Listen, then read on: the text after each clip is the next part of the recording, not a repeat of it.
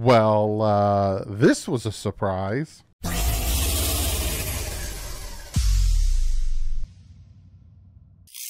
What is up, Fin fans? I don't know why.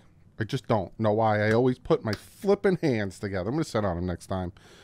I got Omar Kelly on the channel. Got a little insider information, and boy, does he share some really good tidbits.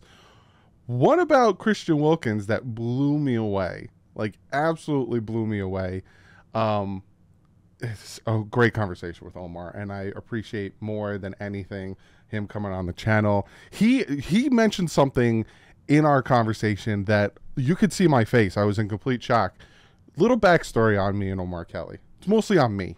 Omar Kelly didn't really know about this.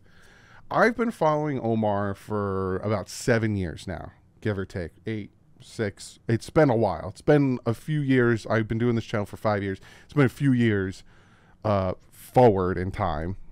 So five years, you know what I'm saying, that I've been following him. And a lot of what I learned in the aspect of trench work and a lot of what I learned in the aspect of what's important and how to do this stuff and how to communicate and you know your priorities and you know all this stuff was a good part from Omar Kelly. Obviously, I played football, so I learned some of that from that. But Omar also taught me a lot, and he taught me about the whole, you know, communication with followers and covering sports and stuff was from Omar. So he mentioned something in our conversation that blew me away. So look out for it because you'll see my face go, what? Um, but before we jump into this absolutely great conversation, I do have to shout out today's sponsor, and that is Clean the World. They have been sponsoring me for a hot minute now. You guys have constantly seen me talk about Clean the World. I am ecstatic to have them as a sponsor.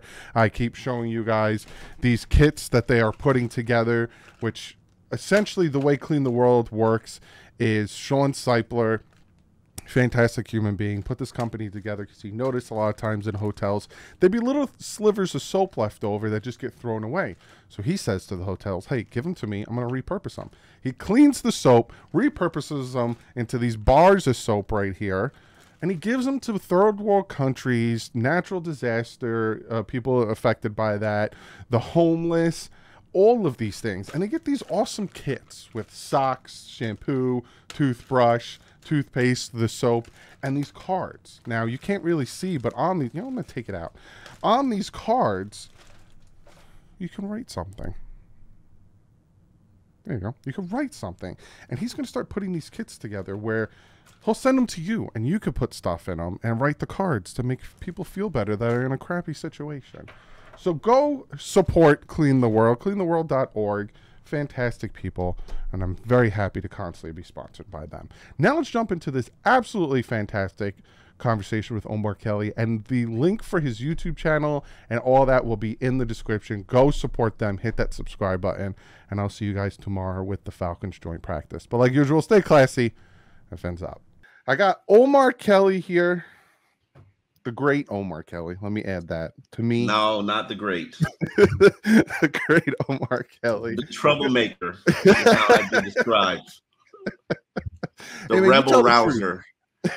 you, you, tell the truth. The difficult one. I've been following you for a while, and it's funny because at first, when I started this, you were talking a lot about how like people like you say one thing and then people take it and they spin it and i'm like well i was watching you now that i've been doing this for like five years oh i feel you on that man like i say something good about tua people are like oh you're an you're an apologist and then i'm like he needs to do better here. Why do you hate on that man so much? And i'm like all i think is omar kelly. That's all i think to myself. Well welcome to the club. Um what i what i like about what i do is let, let me let me bring that back. Um, I'm doing what I do because I loved sports from the time I was probably in seventh grade. I remember writing fake columns and and you know talking, proposing possible trades, and I used to listen to sports talk radio, and it I was just fascinated with it. Now, the problem that I see with what I'm doing is, you know, I, I always wanted people to value my opinion, and now my opinion is way too important to everybody. um, and so that creates challenges and challenging moments for me. Um, what I don't like is when people take what I say, and even though I'm very thorough in what I say, or try to be at least very thorough in what I say and how I explain things, and from my position, you got to understand, like my biggest issue and struggle is I write what I want to write. I mm-hmm. write what I feel the fan base needs to know. Like right now, I'm obsessed with Emmanuel Ogbah's transition to outside linebacker because it mm. doesn't look good to me and I don't like it. Um, and I understand the reasoning and the thought process, but it looks like somebody setting the team is setting him up for failure. Now, I could be very wrong. I don't like what's going on with Chosen.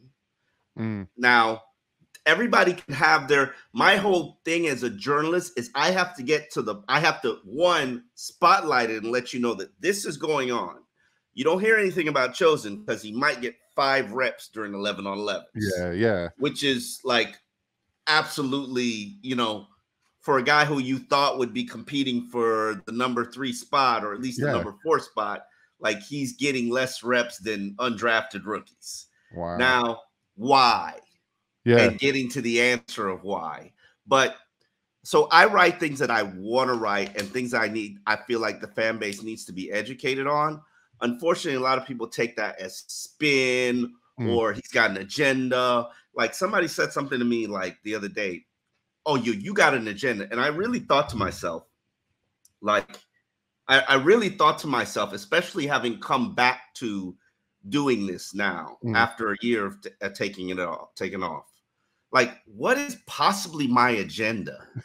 uh, other than like my agenda, my whole life has to be to hold the team that you love accountable to the fan base. That's yeah. like the sole agenda I have in life.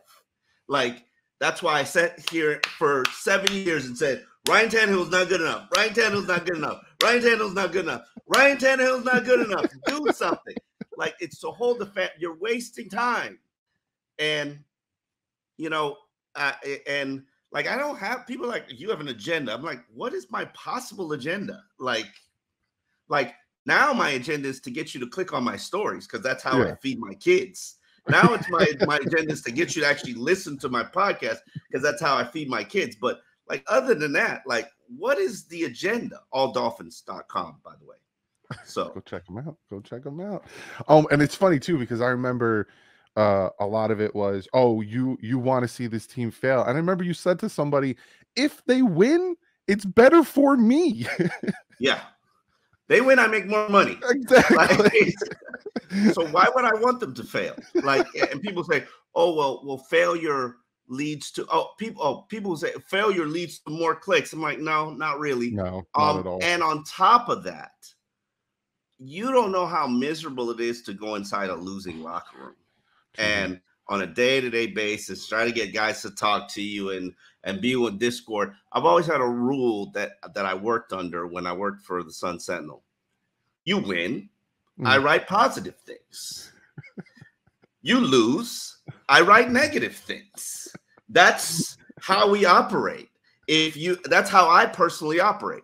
You win, I'll write a glowing feature.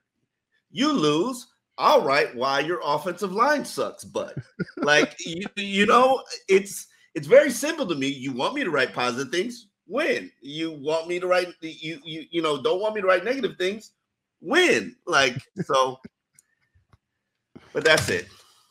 It's it's and it's allowing like me to vent.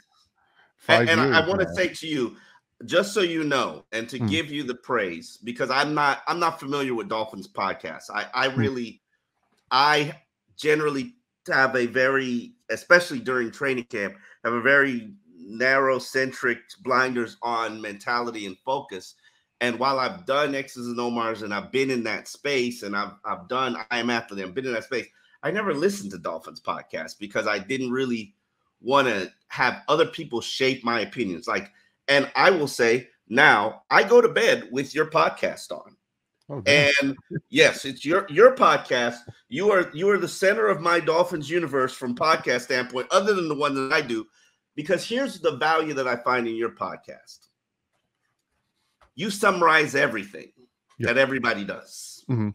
And I don't I I generally try to not pay attention to what like for the first time ever I found out what Travis was tweeting from your show. Yeah. Because I generally don't read it. if it doesn't show up on my timeline, I don't read it. And for some mm. reason, Travis doesn't show up on my timeline. I have no idea why. I know I follow him. I know the fan base thinks we hate each other. We don't. He got me a Pepsi the other day. Who's the coolest dude ever? Because the Dolphins Dolphins feel like I don't deserve any Pepsi and I shouldn't be drinking Pepsi, which is true. My wife probably sent them a memo: do not put Pepsi in the fridge. So Travis got me a Pepsi, and I'm I'm humbled and grateful for it. Um, yeah, Travis and I said from what people say, we have polar opposite viewpoints on everything, which I don't necessarily agree. Mm-hmm. I mean, I, I get the unfiltered Travis, so I don't know what y'all get. So, uh, so you know, we we don't disagree on on many things. Uh, I'm sure if you ask Travis how the left guard position's doing, he's not going to say they're doing good. Yeah. Um. So, but yeah, I don't hate Travis. Let's get that on on the record. yeah, because and, and it's funny too because I think it was last training camp or the one before that. I remember I was reading your tweets and then I think um Safid was still with doing the thing with you, and I think he was like on the opposite end of the field. So you said like, "Oh, Tua threw a pass, but I didn't see who it was," and then Safid was like, "Oh, that was so and so." That's why I follow everybody because you guys are all over the field, so I can get a good understanding. Plus, Travis, he's so descriptive. And I feel like I'm like watching the game. He's like, oh, it, it's a little, too, it's a little based on what you were reading. It's kind of a little too descriptive to me. Like the average fan is not going to get what you're saying. Not, but that's you know, hey, everybody tweet how they want to tweet. Do I know I'm I'm I'm an acquired taste. I've always said to people, I'm like a shot of Hennessy. I am, mm-hmm. I will burn going down, but I will get you exactly where you need to go. It, it's, it's that's just how I am.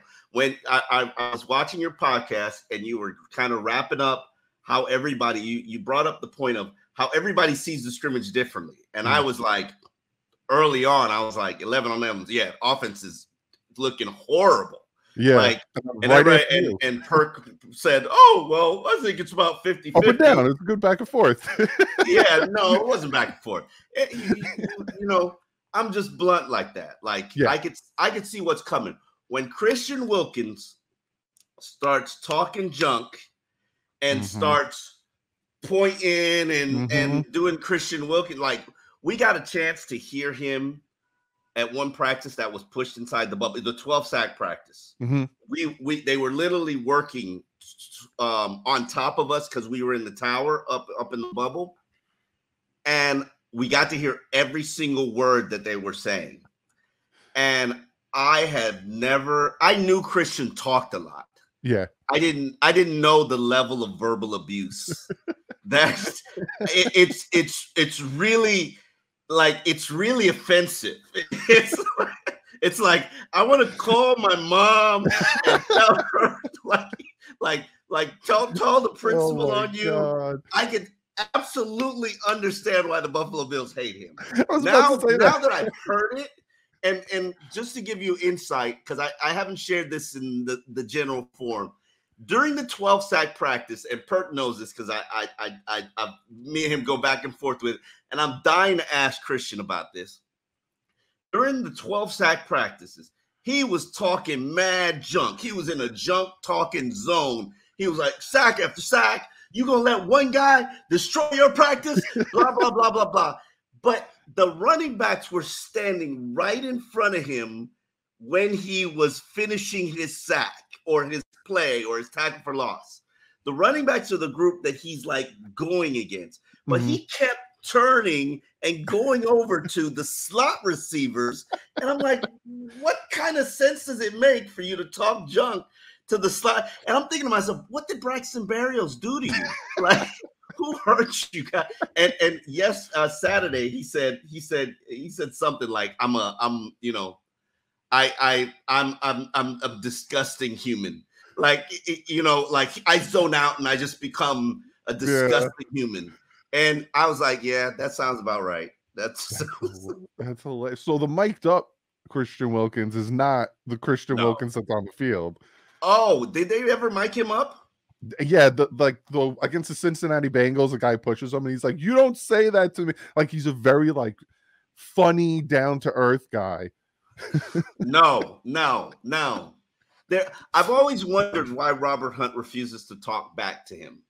and Robert, Robert, like I, it's like I can't, I won't, and I get it now because he's that guy that will like say stuff to really hurt you, and like doesn't like in the moment he's like your wife where she's yeah. just gonna just obliterate you when she's angry, mm-hmm. and then when she's not angry, I didn't mean it. Like, like no. Why'd, you, why'd you make me do that? I didn't want to do that. yeah, no, yeah. It came out your mouth. You thought about it. You wanted to hurt me. You said it. So I was I was I was so offended for the slot receivers based on Christian Wilkins trash talk. I was like oh bothered. And all the other media members were like, like oh my god. So yeah, that makes it makes hundred percent sense why Josh Allen and the Buffalo Bills offensive line does not like Christian Wilkins. Do you think it's true? Here, I got a question for you. Talking about Christian Wilkins and Buffalo Bills. I think it was last year or the year before. Do you think he pinched Josh Allen's nuts? Because supposedly that's the rumor in the pileup is he pinched his nut, and that's why Josh Allen flipped out. I can neither confirm nor deny. Would I put it past him to do it? Absolutely not. I, I, I, gotta find what his quote was. It was it was uh, to give you to quote it accurate. I'm gonna find it because it was.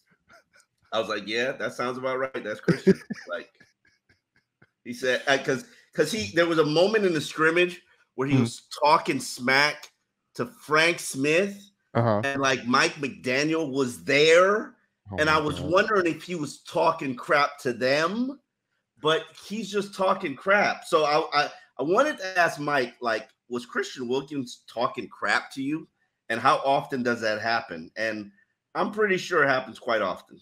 That's so funny. He's getting. Uh, hey, keep doing it. It's it's it's working because he's been dominating. Yeah. Um, but while you're looking that up, talking about uh, somebody that everyone wants to know about, Tua, you know, how has his camp been so far? Now it's hard to really go- tell because we'll know more, like you like you said, uh, over the next two days when they have the joint practice. But overall, like, how's Tua's camp been so far? Is it been that? Because from what I'm seeing, it seems like it's a very up and down. But like, what's your thoughts overall of Tua's camp so far? I don't, I don't think it's up and down. Um, he said, "I'm a sick, twisted individual." and I was like, "Yep." That, that and, and, and it was a moment of honesty. It, was. There you go. he is a sick, twisted individual. He is. Um. Uh. To his camp, outside of the scrimmage, and the 12 sack practice, mm. it's been relatively good. Ball's not on the ground a ton. Um, when he misses, he doesn't miss badly. Sometimes oh. there there are miscommunications. Um, whose fault is that? You don't know if it's on the receiver, if it's on the quarterback. Um, red zone, he's money. Mm. Uh, deep completion every day. Takes holds on. One criticism I have is he holds onto the ball too long. Yeah, and he's had that criticism since his Alabama days. That's the only criticism Nick Saban has of him, I think that it could potentially lead him to getting hurt at yeah. at, at times It has led him to getting hurt. Mm-hmm. Uh, he says he holds on the ball to extend plays so that he gives his receivers a look. He gives scram play scramble ball, gives the the the corner gives the cornerback and the defense a look. And I understand all of that. Mm-hmm. My concern is when we get to game time how much is the Tua we know who wants to hold on the ball two seconds longer than he should, who can't? I haven't seen one throwaway. Maybe there's been one throwaway. Okay. Mm-hmm. Where is he going to be able to switch it on? Or will he put himself in harm's way? That's my major concern.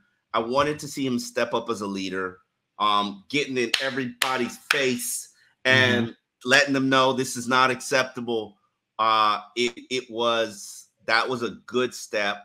According to Robert Jones, that conversation was mainly about, hey, you know, you weren't ready for this moment, but Mhm. this is what it's like. Like we need to cross the T's and dot the I's. Um, too many miscues, too many mistakes. My opinion of it is when Christian and his unit are turned up, it's gonna get ugly for you. Yeah. And let's hope that translates to the regular season game. Quarterback pressure in your face is the worst thing you could face. That's why Mhm. when I was a kid and I played Madden, you know how you select your franchise, your your your, your players. Mhm. I always had Warren Sapp was always my first pick. I didn't care Yeah. who my quarterback was because literally, if I can pressure you up your gut and I'm immediately in your face, Mhm. you can't do nothing. No. Um, so and Christian seems like I dare to say it. Maybe it's Liam and, and Robert Hunt not being as good as we think that they are, Mm. but he seems to be turning it up. He's like having Ndamukong Suh level practices. Wow. And it's I never I shouldn't say this because Christian thinks I already hate him. Um or don't like him. Um I never thought that he could take his game up another decibel. Mm. And he's clearly taking his game up another decibel. I'm like, holy crap, like you're really that dude right now. Mm. And never, I never would have expected him to be that dude. Like right now, I didn't think he was a top 10 defensive tackle based on what he did last season. Mhm. Now I think he might be a top five defensive tackle. Like it's it's really impactful, or your interior play sucks. you you choose. Yeah, I don't. Hey, you taught me about the trenches. I I've been now watching the trenches since I've been following you for about six, seven years, and I keep telling my followers that hey, if the Dolphins have a top five offensive line, top five defensive line, they'll win the division. And it seems like Miami's just keeps coasting along with the offensive line. And I, like you said, I saw your tweet. The offensive line, left guard, there was like a three man rotation. They don't know what to do with that left guard position. Four now. Four now. Eh, Might be five. Throw Dan Feeney in it. Oh, like, you, like you got to figure something out. Like, if if they don't like this week is Grady Jarrett. Mm. Like, Grady Jarrett, let me know. Mike Mm. McDaniel should be like, hey, I need you. To, I need you to. uh I need you to whoop tail, Mhm. and I'm gonna put everybody up against you. Let me know. Let me know who you like. Let, let me know who's the best. Let me know who's the biggest challenge. Because I I can't really Liam, there's a point when and you could see it, and they won't admit it, but you can see it where a guy starts to lose confidence. And me, me and Poupart have talked about it um, on our podcast, All Dolphins.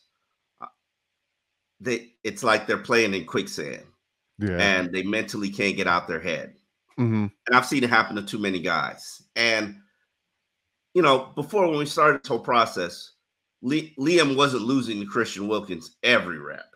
Yeah, yeah, yeah. Then it became okay, he's losing two out of three reps. Then it became oh, he can't even stop him one on one. Oh my god. Then it became, you know, and and he's in quicksand right now, and somebody's got to pull him out.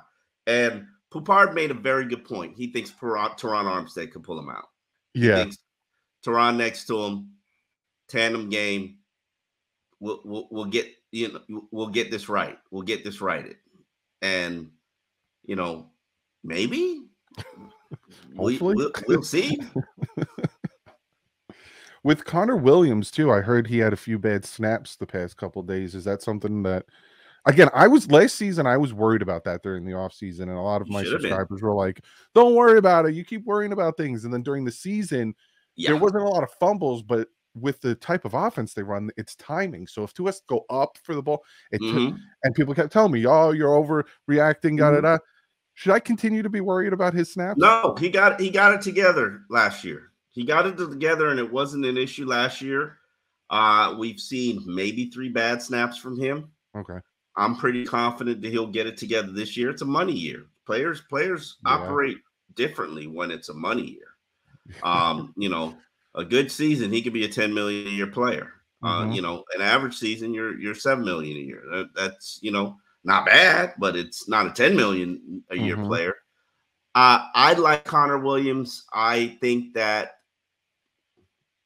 players go through ruts. Maybe he's got to work off some rust because remember he didn't participate in all the offseason program. Yeah. Uh, as far as the interior, he'd probably be the least guy I'd be concerned about. I, Okay. I'd be concerned. I, I, I mean, Robert Hunt taking L's too. Uh, Zach Sieler and Christian Wilkins are problems. Mm-hmm. Uh, so Robert Hunt's no, you know, in the scrimmage, it was mostly Robert Hunt. It was mostly Robert Hunt Christian was going against. He wasn't picking on on on, on Eichenberg. So, you know, those guys they got they got to figure it out. They got to get their act together. And the interior, I I don't know what the answer is. Isaiah Wynn, I saw him take some losses too.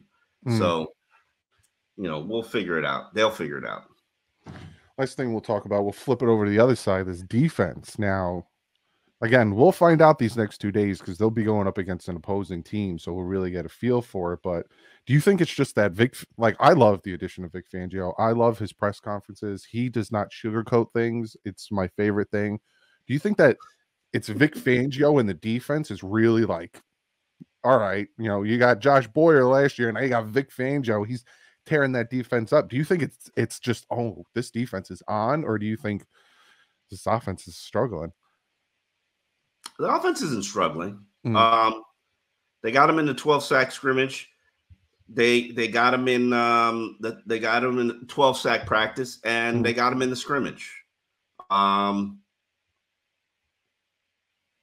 and maybe if they gave him a red zone series in the scrimmage, the offense would have performed better. Mm. Um, there have been offensive days. There have been days where, like I believe the practice before it, Mm. offense kicked butt. Mm. Christian kind of took the day off. I mean, he was there, but you know, he was quiet. No, could would couldn't hear peep. And offense Tua was hot. Tua was carving people up. And there, the first week we saw, I thought Vic Fangio's zone was giving Tua some issues Mhm. and forcing li- slow processing. Or maybe it was he wasn't used to the weaponry because they rotate the weaponry like crazy. Like Yeah. you have no idea who Tua is going to line up with on any given snap. And Mhm. same thing with any other quarterbacks. You the the wide receivers are just churning in and out.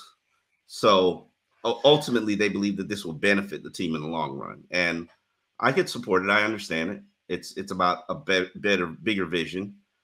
So so they were struggling with the zone.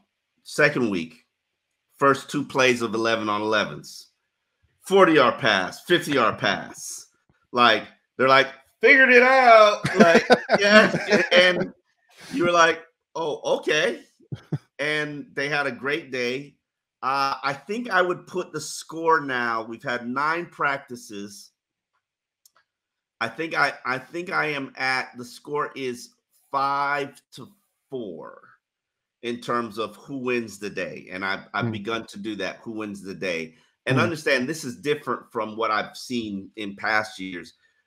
We would go weeks without Ryan Tannehill Yeah. winning the day. We'd go weeks without Chad Henne winning the day. Um, Pennington and Ryan Fitzpatrick, they would they would win the win days.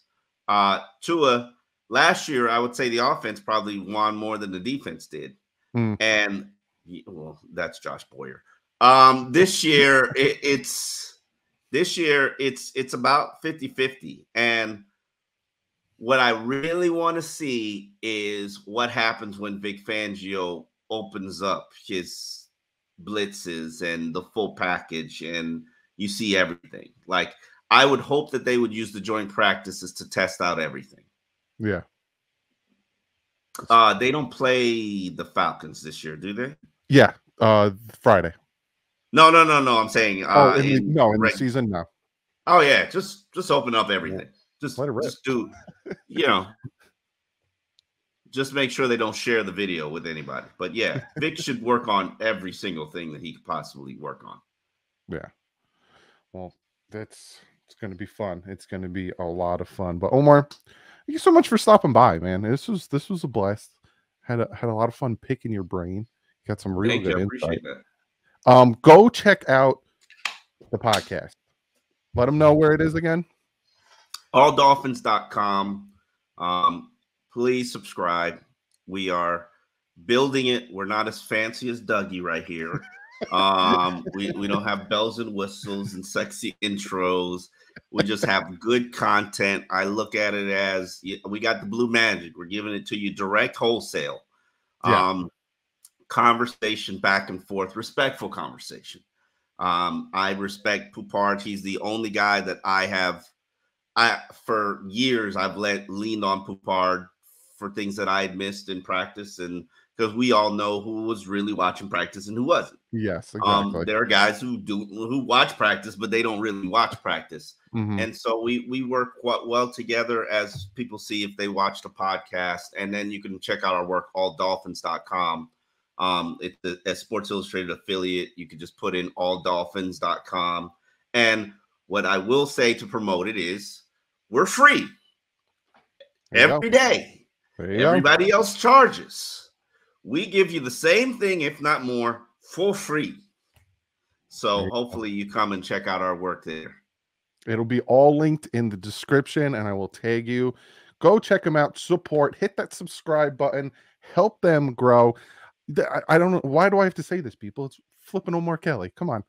Listen, there's one thing I do want to address with you, and I've addressed it privately with you, so Yes. people can understand the point that I was trying to make in the offseason in regards, okay, you're $32 million over the cap.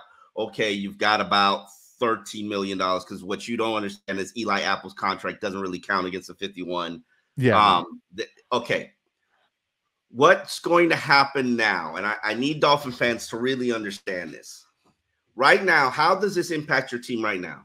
Right now, there's a mad race between Christian Wilkins, Robert Hunt, Raekwon Davis, um, Connor Williams. Really, those are the only guys. Uh, Zach Sieler for who's going to get the money before Tua gets the money hmm because Tua's gonna get the money if he has the season that he's expected to have, and then when he gets a Jalen Hurts s contract, there won't be a lot of money for a lot of people. Yeah, exactly. So right now, what you're probably looking at is the Dolphins out there offering everybody, hey, 70 cents on the dollar. yeah. Who wants to take it? Who wants to be financially secure?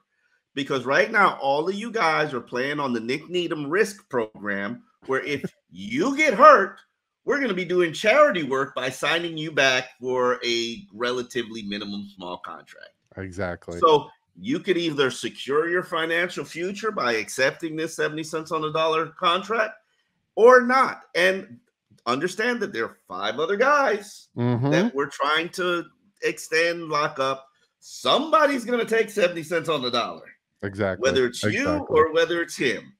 And it's a good position for the organization to be in, but it's uh, it's putting going to put a lot of pressure on those veterans, on the Christian Wilkins, on the Christian's in a good spot because Hmm. realistically, while the Dolphins could franchise tag him and pay him 16 million dollars for the next two years, this year and next year, it'll equal out to 60 million dollars. He wants the multi-year deal, which gets him 60 million dollars in guaranteed money yeah.